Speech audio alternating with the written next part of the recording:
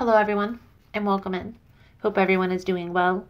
Positive healing vibes to all the subscribers, the viewers, and the world out there. Today, we're looking into Cancer's weekly guidance message for October 10th through October 16th. In this message, Cancer, we're going to tap into the energy surrounding you this week. We're going to see what's challenging you this week and where this is headed if you stay in this energy. I'll clarify throughout the message. I'll pull a few cards at the end for advice. If it's something you're interested in, you're more than welcome in joining us. Also, guys, if you like the vibe, how I interpret the cards, you're more than welcome to subscribe to the channel. Everyone's welcome here, and it does help to set intentions for future messages. So let's dive in here, Cancer, and see what we can see for your upcoming energy for this week. Most important message here for Cancer Spirit. What do my Cancerian friends need to know?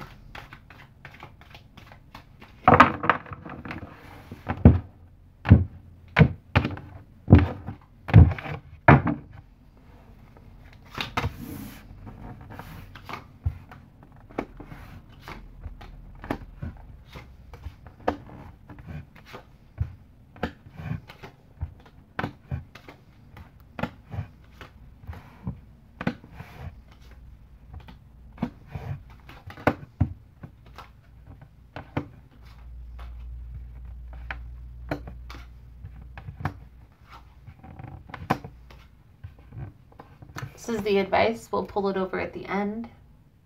Cancer, the energy that's coming out here is one of betrayal. Okay. I feel like you've recently gone through a situation with a particular person in your life. Now, this is definitely uh, emotionally involved person. So, whether this is a partner, like a lover, or this is a close friend or a family member, there's definitely an energy of loss, energy of betrayal, energy of feeling betrayed. And we're going to clarify all of this here in a moment. The energy surrounding you, Cancer, is the Three of Pentacles, the Hermit, and the Queen of Cups. So this is a situation that you've tried over and over again to make work, and nothing's worked. I feel like it's kind of a never-ending battle with this person. There's always something wrong the challenge here, Cancer, is you really want this to work. So whether this is a sibling, it could be like a close friend, it could be like a lover, somebody who you truly uh, have an emotion, feel like you have an emotional connection with. But I feel like you're really trying to make this work. Okay, you're trying, you're planning, you're being strategic, everything that you possibly can, and nothing is working here. Okay the reason being is your person is trying to control the outcome, and we're going to clarify all of this here in a moment. I feel like there's more than one person involved in the situation. So, if you felt like that was the case and you didn't have confirmation, Cancer, you're most likely right. So, let's clarify for you guys. Now, if you find the messages helpful or resonating, please give it a thumbs up. Also, guys, if you want a personal reading, the information is all linked below in the description box. Whether this is you, Cancer, whether this is your person, somebody is trying to control the outcome here and it's not working in this person's favor. Now, I do feel here, Cancer, this may be you. And maybe this is like not directly trying to manipulate, but maybe a passive aggressive type of an approach. I feel honestly here, Cancer, you've come to a point with this person where you're no longer happy. And there's a need to kind of come to terms with that. Okay. Get clear on what you envision the outcome being with or without this person. So, what would you do if this person wasn't around, right? What type of lifestyle would you lead? What type of decisions would you make? Where do you see yourself headed?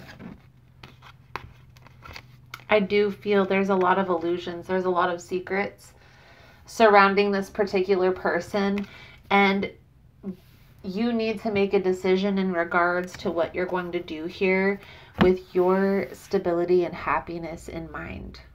Okay, for a lot of you, that's going to involve walking away from the situation that's no longer serving you. So let's pull over the advice guidance moving forward. Thank you guys again for all the love and the support. for liking, subscribing, sharing the content. You guys are all amazing. I do feel like there is an energy of options, and whether this is you, Cancer, or whether this is your person, there's multiple options that have either transpired in the past or are currently involved in.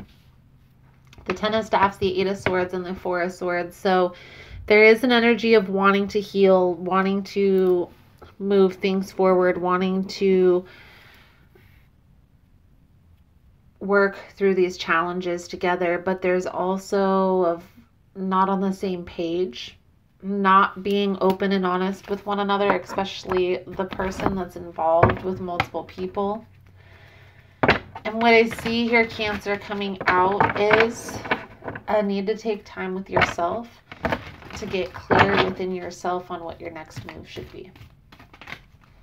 Not, and again, not worrying about any other person, place, or thing especially if they aren't taking your best interest at heart. I do feel Cancer, you may find yourself moving forward from this situation here soon because I don't feel like this person is going to make a decision. It's going to still be in this up in air up in the air energy if you don't decide.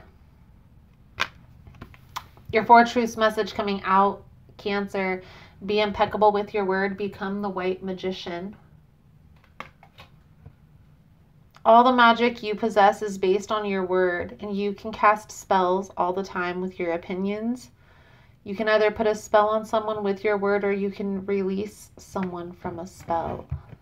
Become the white magician. Beautiful, beautiful. So, Cancer, I feel like that's a good solid message coming out. The main thing that I get is there's a decision that needs to be made in regards to a person who's really hurt you.